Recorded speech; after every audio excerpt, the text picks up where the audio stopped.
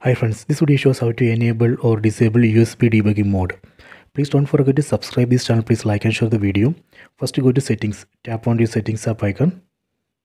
Go down. Go to about phone. Tap here.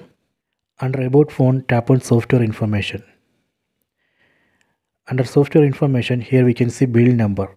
On build number, we need to tap 7 times. 1, 2, 3, 4, 5, 6, 7. See the message. You are now a developer. Go back. Go back tap on software information tap here. Under software information go down. Here we can find a new option developer options. Tap on that. These are a list of developer options. From this list let me select usb debugging c. We can tap here and enable usb debugging mode. Done. Later if you want to disable again tap here and disable. This way we can enable or disable usb debugging mode. We can also disable developer options. Tap here. Done I recommend to disable developer options after the use because of security issues. This way we can enable or disable USB debugging mode and developer options. I hope you have enjoyed this video. Please subscribe this channel. Please like and share the video.